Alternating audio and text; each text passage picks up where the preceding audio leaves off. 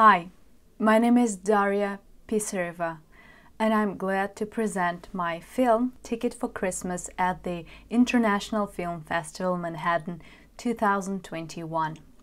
First of all, I would like to thank the festival and Louis Pedron and all the organizers and jury uh, for choosing my film in the competition this year. My film, uh, Ticket for Christmas, uh, with the original title Billet pour Noël, uh, was shot in Paris uh, last winter. It was shot in French uh, with the local actors and a local crew. Uh, and I would like to thank all of them for their talent and their great energy that they contributed to my film. The film is based on um, my personal experience and my observation of people living through the lockdown in Paris.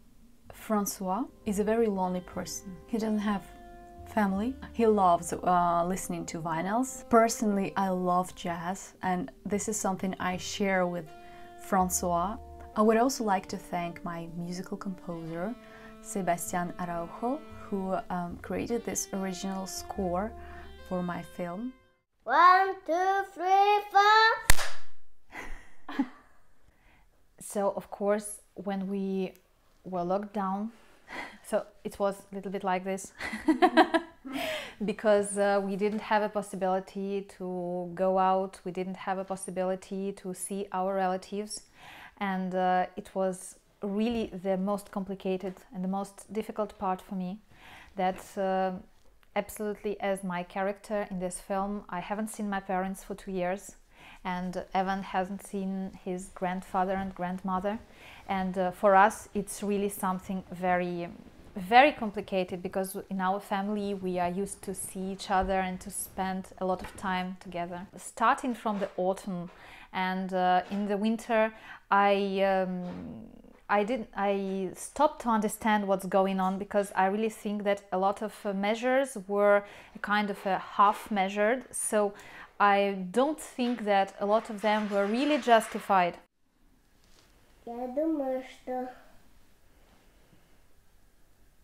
что он, он пойдет,